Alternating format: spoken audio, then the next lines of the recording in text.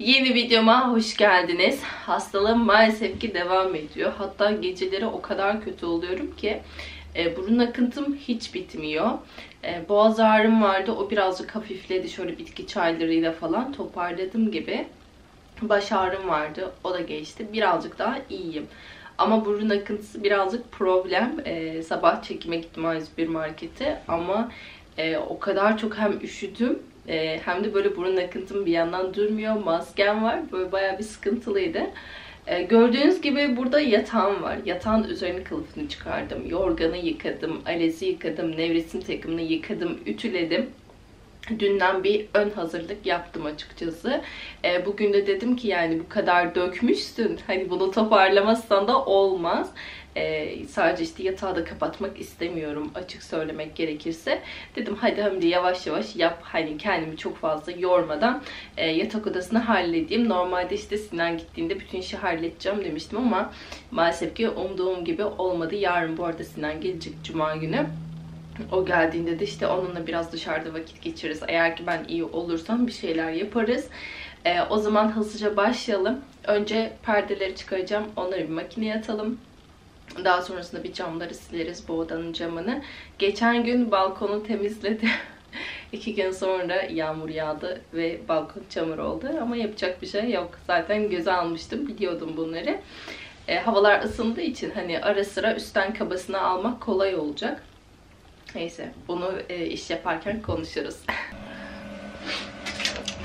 Önce tüllerle başlıyorum. Dün gece iyi ki yatağın bütün yıkanacaklarını yıkamışım. Dedim onlar kurusun. Bugün de rahatlıkla takabileyim. Devrini düşüreceğim. 400 devirde. 60 derecede derecesine yükseltelim. 1 saat 16 dakika yeterli olacaktır. Onları silerken saf su kullanıyorum. Daha öncesinden bulaşık makinesi parlatıcısı, sonrasında e, bir sürü bir şey denedim. Yani bulaşık deterjanı, çok amaç temizleyici falan. Yani ben, benim camlarımda iz kalıyor. Daha sonrasında böyle buğulu gibi bir iz kalmış oluyor. O yüzden artık sadece hani saf suyla siliyorum. Başka hiçbir malzeme kullanmıyorum. Bir de cam silim var biliyorsunuz. Onu da günlük hani böyle tozlarını alırken iç tarafı öyle kullanıyorum. Başka hiçbir şey yok. Önce iç tarafını silip bitiriyorum. Hatta böyle cam kısımlarını. Daha sonrasında köşelerini siliyorum. Sonra dış kısmına ve ara kısmına geçiyorum. Pencerenin. Hasta hasta yetince de ben kendimi daha çok kötü hissediyorum. Hani böyle baş ağrım artıyor. İşte hastalığı böyle sanki daha çok düşünüyor gibi oluyorum.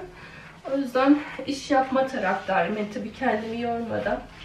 Şimdi güzelce yatak odasını temizleyip bitireceğim. De geçen videomda niye az su kullanıyorsun diye yorum gelmiş. Bence az su kullanmak daha iyi. Yani boşuna neden su harcayayım ki azıcık suyla da işimi görüyorum. Zaten ben sık sık değiştiriyorum. Yani suyun rengi değişince suyumu değiştiriyorum. Onun dışında gerek duymuyorum.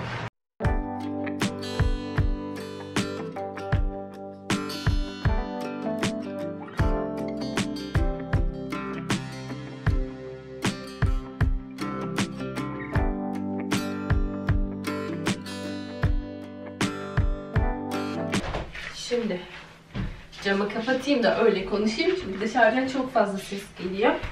E, kabasını aldım. Burayı daha yakın zamanda silmiştim. O yüzden e, kolay oldu buranın temizliği. sık sık silince hemen temizleniyor. Benim en zor evde sildiğim yer e, cam balkon. Hani diğerleri kolay. Hemen hızlı bir şekilde halledebiliyorum.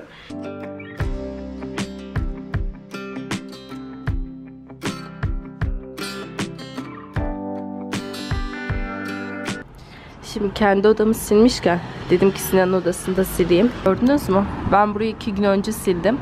Ve özellikle şu kısımdan yani yukarıdan aşağıya bir şeyler döküyorlar ya. Alt komşu da öyle. Gerçekten şaka gibi. Şimdi ben bunu çekip sitenin grubuna atacağım. Yani bildiğin çamur akmış. Hani bir tarafı farklı, diğer tarafı farklı yağmaz ki yağmur. Hani yağsa burası da çamur olsun. Diğer tarafta çamur olsun ama değil yani. Sırf bu köşe. Şimdi bir de şu tarafı gösteriyorum. Bakın. Tertemiz. Yani sadece toz var yani. O çamur görüntüsü yok burada. Camlar da aynı şekilde. Orta kısımda öyle. Yani o köşeden böyle bildiğiniz yani çamur akıtmışlar gibi ya. Hani şurada da bir şey yok. Diğer tarafın çekmecelerini açtım. Onun içerisini süpürdüm. Şimdi buraya alacağım. Özellikle şu köşelere bayağı tozlar birikiyor.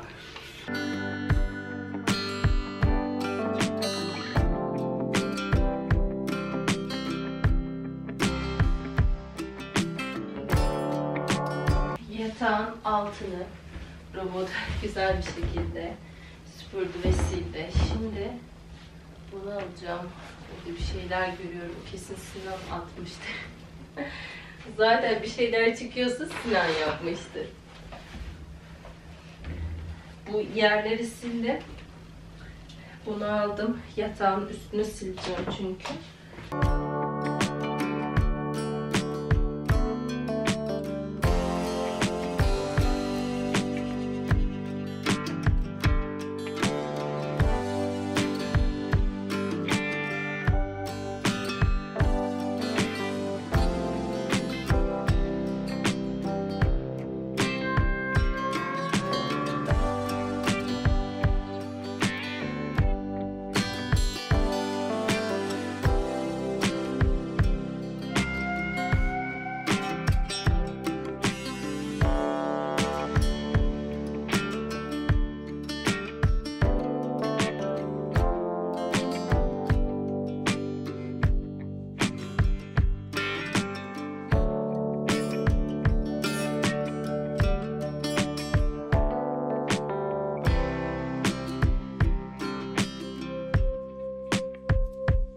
Arezime takıyorum. Ben buraya sıvı geçirmez arez istiyorum aslında.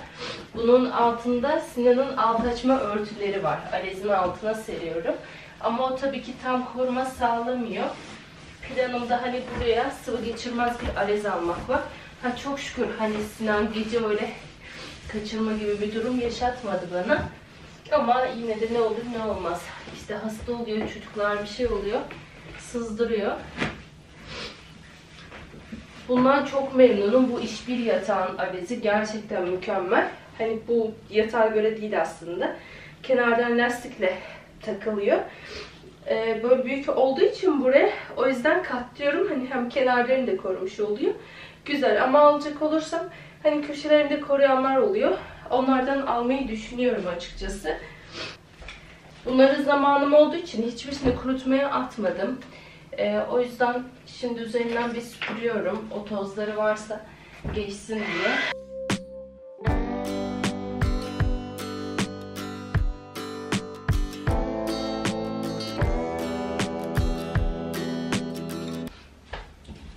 bir ara verince gerçekten e, olmuyor. Babam aradı, sonra annem aradı işte nasıl oldu falan diye. Ondan sonra babam işte annem evde olduğu için bu arada yanlış anlaşılma olmasın. Bunlar Sinan'ın e, okula gidecek olan eşyaları o yüzden dolabın içerisine koyuyorum. Ama e, o nevresim takımlarını da hazırlayacağım. Burada süpürgenin parçaları var. Onları da bir ayırayım. Kaldırayım şu dolabın içerisinden. Ne varsa buraya bastım. Şu punch kırdentler bunları normalde ben dolap hesabına koyup biliyorsunuz ki satacaktım. Ama unuttum. E, yapacağım bu arada koyacağım. Bu videoyu paylaştığımda inşallah paylaşmış olacağım. E, dolap ya da gardırop hesabıma ikisinden birine koyacağım. Uygun fiyat diye koyacağım. Böyle pahalı koymuyorum biliyorsunuz. Ondan sonra Sinan'ın şöyle bebekken beşiği vardı. E, biliyorsunuz yani. 6 ay falan kullandık. Bu da onun döşeğiydi işte yatağıydı. Ben bunu işte oyun çadırının içerisinde kullanmak için saklıyordum. Oyun çadırı da aynı zamanda duruyor. Ee, bunları muhtemelen yine satışa koyacağım. Çünkü oyun çadırını ben kuramıyorum. Ev çok küçük. Ee, onu kurduğum zaman geçecek alanımız olmuyor. Hani iki günlükte kuramadığım için. Ee, o yüzden onları da elimden çıkarmayı planlıyorum. Ikea'nın oyun çadırı. İsterseniz sizler de bakarsınız. Hani bayağı büyük çünkü hani tren şeklinde. Bir de Ikea'nın şu aynası var bende. Ben bunu eski evde kullanmıştım. Gördüğünüz gibi etiketi bile üzerinde duruyor. Ama bunu kargolayamam. O yüzden Letgo'ya koyacağım. Ya da Ankara'dan isteyen birisi varsa öyle satabilirim. E, dolabın içerisinde aslında benim e, eşyaları ayıklamam gerekiyor. Hem kışlıkları kaldıracağım. Ama onun için şu an giremem. Yani bu işe gerçekten giremem. Çünkü iş uzayacak. E, belki Sinan'ın odasına da el atarım diye planlıyorum açıkçası şu anda. O yüzden sadece böyle hani kabasını alacağım. Daha sonra eşyayı ayıklamayı düşünüyorum.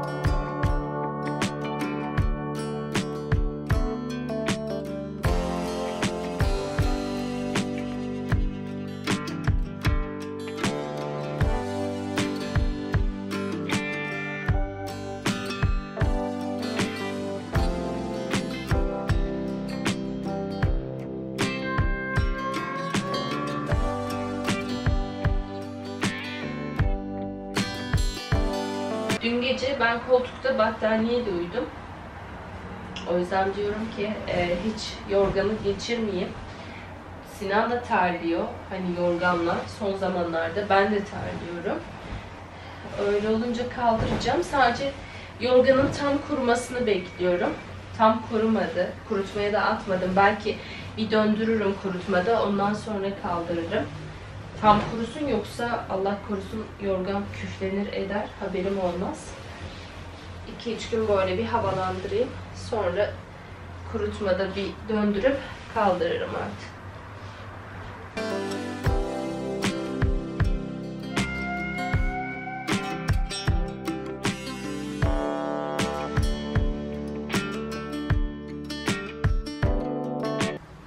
Aslında yerler falan temiz oluyor bende sürekli.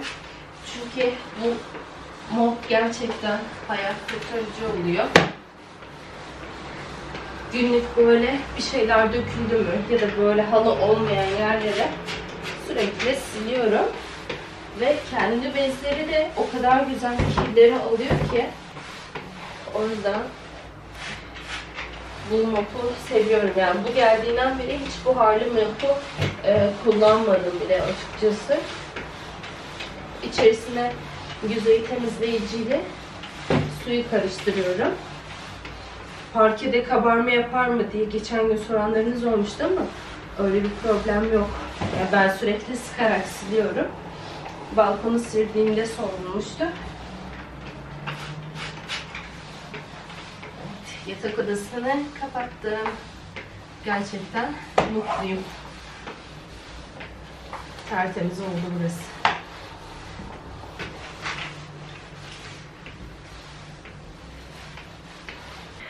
Temizlik bittikten sonra tabii ki banyo tuvalette mutlaka temizleniyor. Ben burayı hızlı bir şekilde yaptım çekemedim. Çünkü Sinan gece yola çıktı. Normalde yarın öğlen gibi gelecekti. Babası uykusu var dedi hani yolda uyusun. Ben de tamam dedim ama gecenin bir yarısı varmış olacak. Bakalım nasıl olacak. Umarım geldikten sonra da uyur.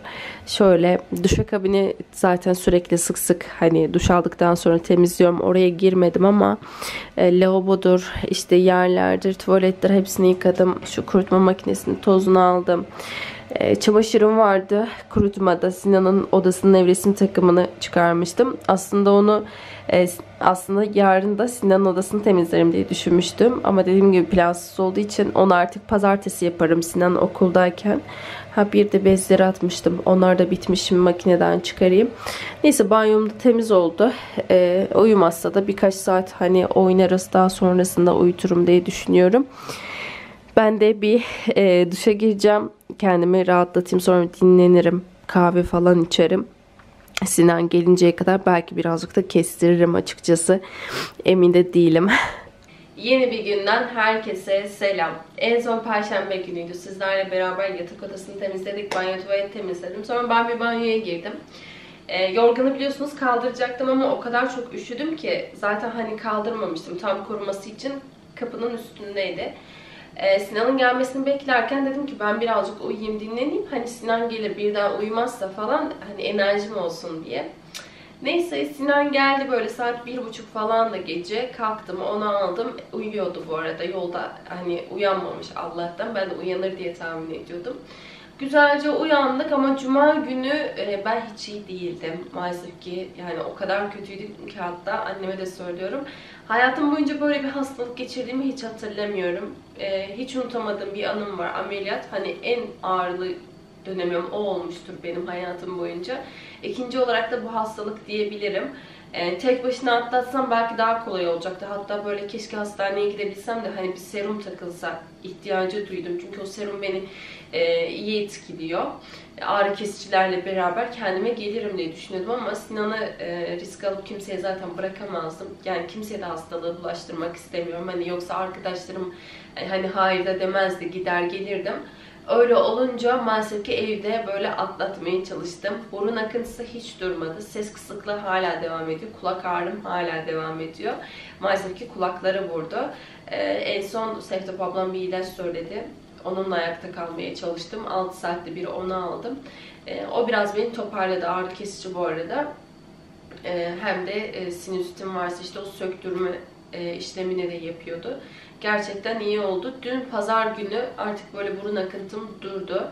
E, ama en kötüsü de şu anda şu dudak üstlerim, burnum, kenarları e, çok silmiyordum aslında. Hani yıkamaya gidiyordum banyoya ama tabii ki her defasında da aynı şeyi yaşayamıyorduk.